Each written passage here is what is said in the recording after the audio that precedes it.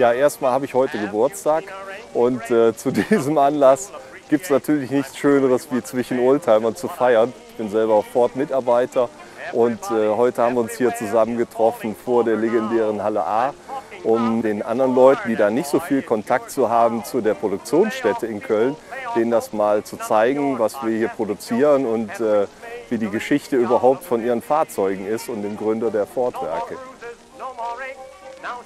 Unser Clubkamerad hat die Idee gehabt, so ein Oldtimer-Treffen zu organisieren. Und dann kam ich auf die Idee, äh, zeig doch dem alten Eifelchen mal wieder, wo es ursprünglich geboren worden ist.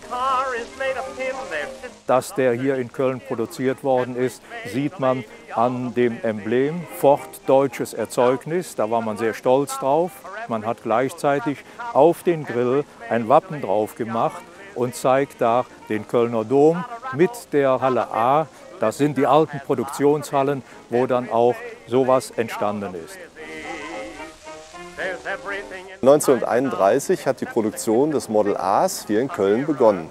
Es war ein Montagewerk hier in Köln also es sind viele Sachen aus USA gekommen, aber der überwiegende Teil wurde schon aus deutscher Produktion geliefert. Insgesamt sind 4,6 Millionen Model A's gebaut worden, der überwiegende Teil natürlich in Amerika.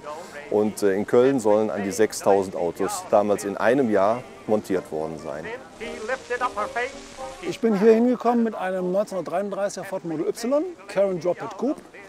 Aufbau ist von Samson Sons, Tickford aus England. Das Fahrzeug ist insgesamt viermal gebaut worden. Das ist das Einzige, was in Deutschland zurzeit fährt.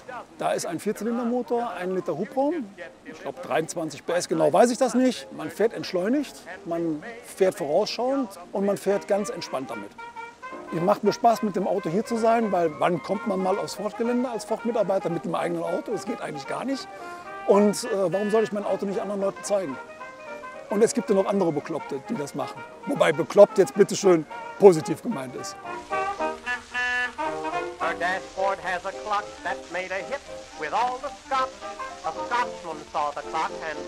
Das Herz geht auf, wenn man wieder die alte Technik sieht.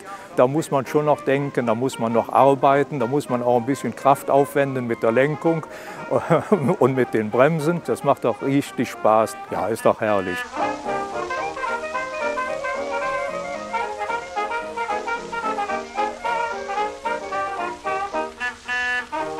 Dashboard has a clock that's made a hit with all the Scots. A Scotsman saw the clock and so he promptly stopped his watch. Uh-huh. You've all heard the Frenchman song, 50 million can't be wrong. Henry's made a lady out of Lizzie.